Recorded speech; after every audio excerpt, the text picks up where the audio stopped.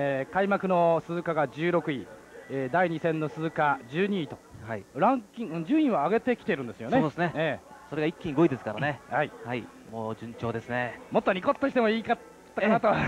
まあ、ある程度でしょ十分嬉しそうだと思いますよ。なるほど、はい、はい、えー、青木選手のインタビューをご覧いただきましたけれども、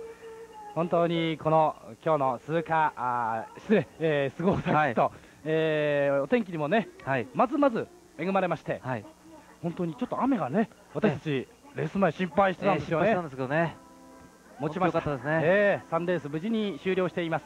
えー、ちょっとここでですね、えー、宣伝しておきたいんですが、先ほどもちょっと言いましたけど、宮崎選手、相馬選手、この後、はい、えー、やってきてくれるかも分かりませんので、その後のトークショー、はい、これもね、えー、楽しみにしておいていただきたいと思います。はい、さて、今度はですね、また足取り軽く、えー、石橋さんがですね、えー、塚本選手をどうやら捕まえてくれたようですので、えー、面白い話聞けるかも分かりません。はい、えー、お願いしたいと思います。石橋さん、はい、お願いします。はい。もうライムグリーンのなんか起爆剤っていう感じの塚本選手です。お疲れ様でした。ありがとうございます。あの1人で91年モデル開発してそれでレース出てここ2戦連続表彰台。好調ですね。まあそうですね。あのずっとねほんま開発ばっかりで、まあ、レースに出たいという感じのその気持ちが結構高かったんであの前線の鈴鹿から割と自分ではねあの調子よくこうレースに挑めたと思うんですよ。はい。で塚本選手帰ってきてからなんか川崎ですごく元気出ましたね。そうですかね、まあ、そう言われると嬉しいですけどはい。まあ、もっとあの川崎がね F1 を盛り上げたいなと思いますけどね、はい、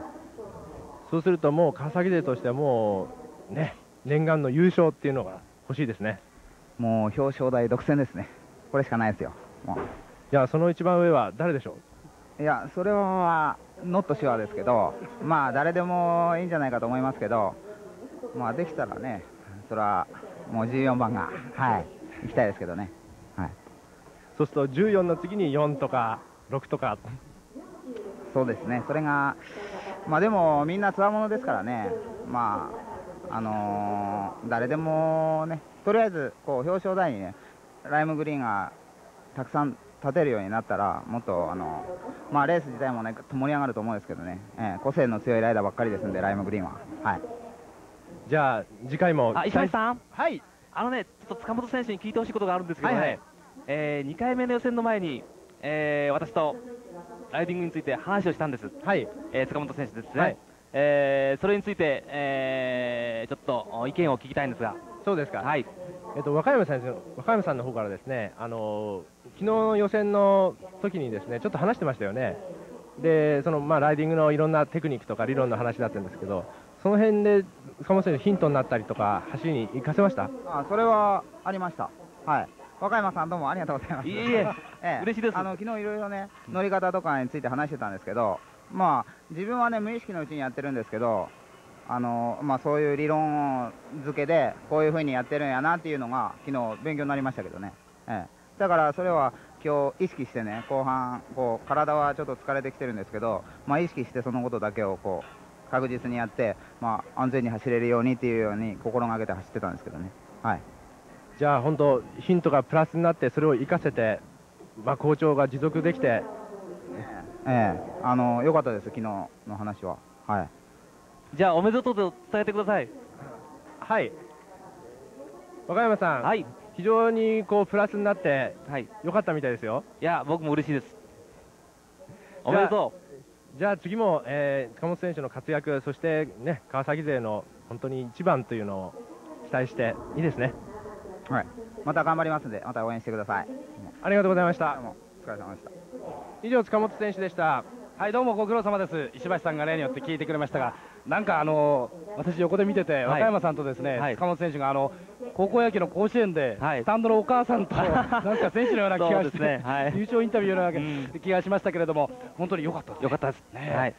えー、さあこういった放送席私たち2人でお伝えしてきたんですけれども、はい、もうこれ僕のアドバイスでね、もう彼がスランプに陥ってくれた僕も困りますからね、はい、よかったです。よかったですね、はい、本当になんか私たちも言って、もう全然関係ありませんでしたとか言われたら僕、どうしようかなと思ってたんですけれども、はい、えー、その辺のところはちゃんとなかったということなんですが、えー、間もなくですね私たちのお隣に、えー、ゲストが来来てくれると思うんです、今、呼びに行ってます、えー、それまでちょっと、えー、ずっとチャンネルそのままでお待ちいただきたいと思うんですが、えー、またこのレースをですね、はい、えー、それまでちょっと振り返ってみたいんですが、えー、いろいろ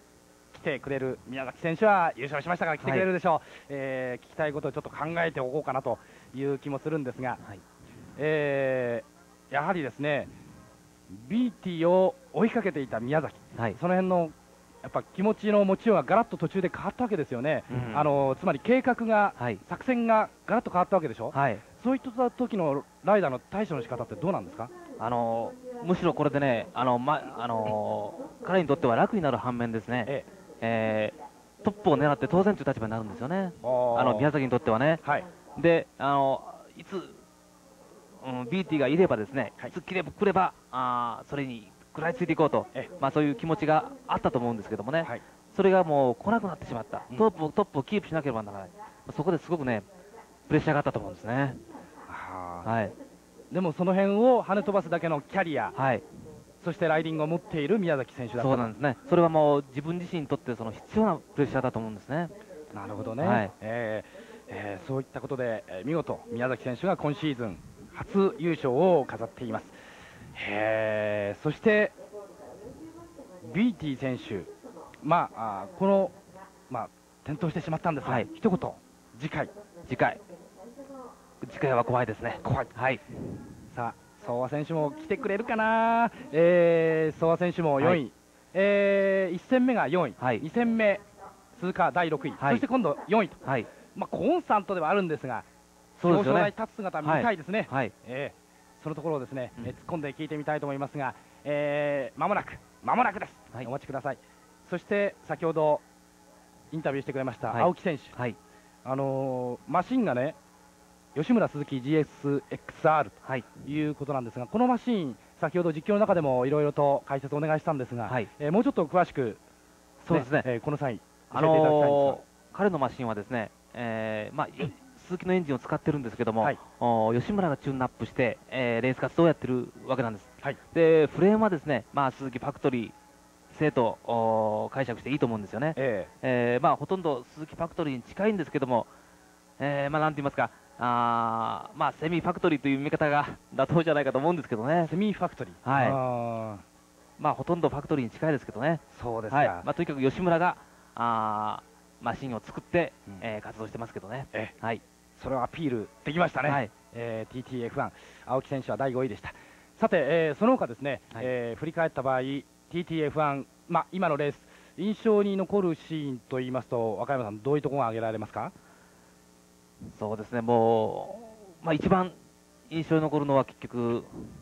BT の転倒シーンなんですよね。ははい、もうこれも、まあ、あまさかまさかなんですけどもね。えー、えーえー、もうそこからあとはもう宮崎が逃げるしかない、はい。えーまあ、彼も自身もプレッシャーがあっただろう